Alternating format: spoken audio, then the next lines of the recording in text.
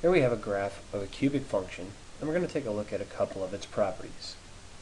Notice that it's increasing, then decreasing, and then increasing again. So it changes from increasing to decreasing, and back to increasing. Now let's talk a little bit about the concavity. So let's get a point on this graph. So one thing that I want you to think about when you think about concavity we want to think about how the rate is changing. So to help us think about the rate, what I'm going to do is add in a line that's going to give us what the slope is at this point. This line gives us about how fast we're changing at this point. Now, look at what happens as we get closer to where it changes from increasing to decreasing. Notice the rate of change, or the slope, of this line is decreasing.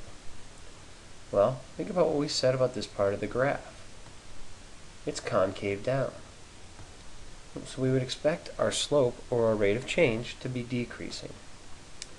We hit a point in here where it stops decreasing and then it begins increasing.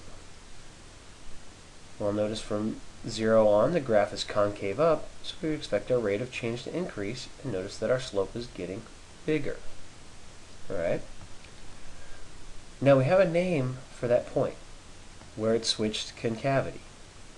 This is called an inflection point because the graph went from concave down to concave up. In other words, the rate of change went from decreasing to increasing.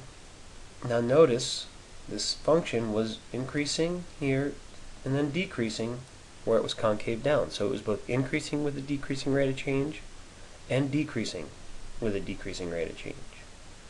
And the opposite happened over here. So that's just a little bit about concavity with a cubic and introduction to an inflection point.